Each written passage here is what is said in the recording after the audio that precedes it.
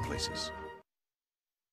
As part of Hispanic Heritage Month, the Irma Lerma Rangel College of Pharmacy in Kingsville is calling attention to some local folklore that's connected to pharmacy history. Yeah, the pharmacy school there is currently highlighting the work of a popular curandero, or medicine or folk healer from Falfurrias, who died more than 100 years ago. Our Mike DaSilva visited the gravesite today, a place that's become something of a religious shrine. The College of Pharmacy says Don Pedro Jaramillo was a curandero, or folk medicine healer, who helped whoever he could without seeking money or recognition for it.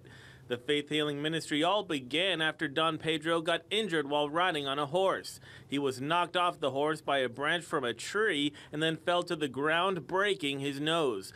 He is then said to have healed himself with mud. He says that God came to him and told him, You will spend the rest of your life healing other people.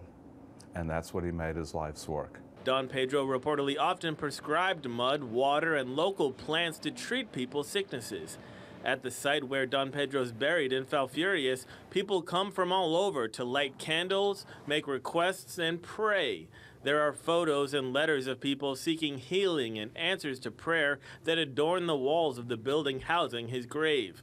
We spoke with one woman who drove from the valley to pray, and she's been coming to the site for 20 years. When I was 25, I was living in the Aransas Pass, and uh, my life's not, it wasn't going very well because of all the violent and all the situation that was going out there. And uh, my mom came and prayed for me. My life turned around. Don Pedro's great granddaughter is the caretaker of the site, Dolores Villarreal, showing us a collection of testimonials of people who claim to have been miraculously healed through the power of prayer. They're very impressive.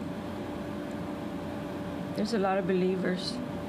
And with that faith, I do believe they do get healed. Don Pedro died 106 years ago, but through the power of belief, his life is still having an impact on many lives today. Mike DaSilva, 3 News. Fascinating history still to come.